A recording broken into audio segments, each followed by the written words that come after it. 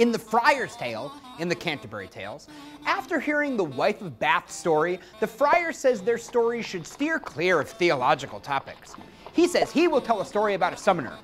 The summoner in the group promises to pay him back with a story later about a friar. Now, there once was a scheming summoner who used his position to extort money from people. He is on his way to get some money from an innocent widow when he meets a young yeoman. He tells the yeoman that he is a bailiff, and the yeoman says he's one as well. Based on their shared occupation, they become friends and swear to be brothers to their dying day. The yeoman says he has to extort money from people to make a living. The summoner agrees he must do the same.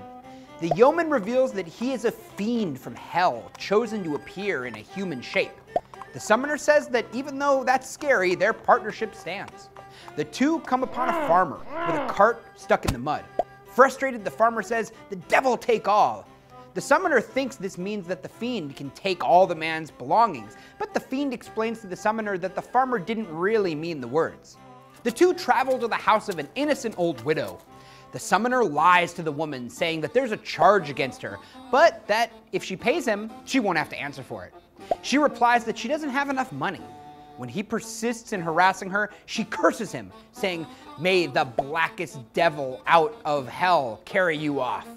The fiend asks if she is sincere, and she says she is. So he takes the summoner off to hell, where he says he'll fit right in.